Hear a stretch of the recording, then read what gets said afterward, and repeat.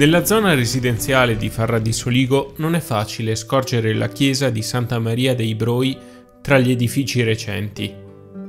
La parola stessa Broi indica l'ambiente immerso nel verde in cui sorse la chiesa.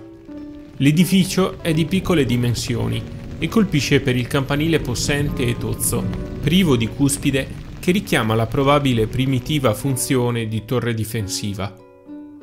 Tracce di affreschi sulla facciata hanno permesso di riscoprire anche al suo interno una decorazione pittorica antica e delle iconografie significative, talora non di facile interpretazione. La datazione di questo oratorio è posteriore al 1272, anno in cui Bruno Villano, capostipite dei Brunvillani, acquistò un terreno in questo Broius, dove probabilmente la famiglia fece edificare questa chiesa. Oltre la soglia, quella che appariva come un'aula intonacata di bianco, oggi si mostra decorata con affreschi del primo Trecento, venuti alla luce sotto uno spesso strato di intonaco, che per secoli aveva celato un vero tesoro d'arte.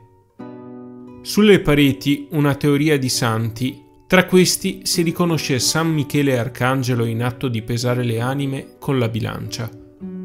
Tra le raffigurazioni vi è una risurrezione che forma una sorta di dittico con una crocifissione, immagini che suggeriscono la presenza di sepolture adiacenti alla chiesa dando un messaggio di speranza. Sicuramente l'affresco che rende più unico questo luogo è quello di un misterioso santo che tiene in mano una corda e accanto a lui un lupo forse ammansito dal santo stesso.